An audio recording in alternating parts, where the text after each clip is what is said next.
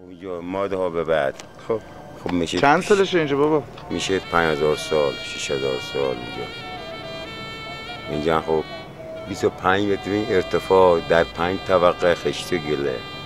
چرا اینجا خراب شد آقا معماری ساسانی خامنشی جلوتر مثلا. من خب ول بوده اینجا.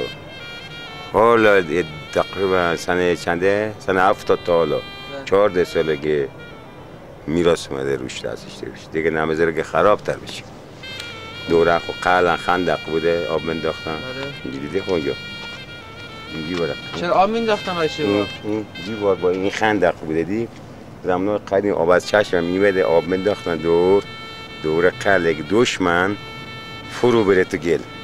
دیدن خود تا اینجا بره پایین نتونه بر بیا چهار دور بوده. اون قسمت چند خو خیابون بوده دو. خراب کردن آه. مثل اون برم مثل این بر بوده. اون دیوار خود قله. اینا خونه های قدیمی می بوده. یعنی این تاریک الان این کسی توش نی بله از این برنامه. حالا. شما چند نفر میرین اینجا در روز؟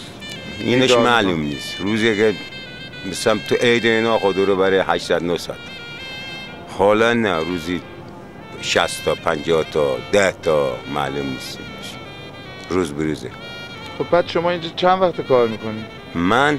حالا جلو زیاد بودم. من اینجا یک سال اینجا هستم حالا. خود ما- اهل میبودی؟ بله. همینجا به دنیا آمدی و بزرگ شدی؟ بله مال همینجا هستم. یعنی خب یه ذره از میبود برامون بگو. با چی چی بگم؟ من نمی‌دونم چی چی بگم من. خب چی چیه قدمتش چقدره؟ چجوریه؟ نه، اونش نمی‌دونم والا من. با از سالمندا بپرسی. شما خوشحالنجا بودین هستید. نه حالا من نیستم نمی‌دونم مثلا میگم من مثلا مال کی بوده چی می‌دونم چی ایناش من نمی‌دونم.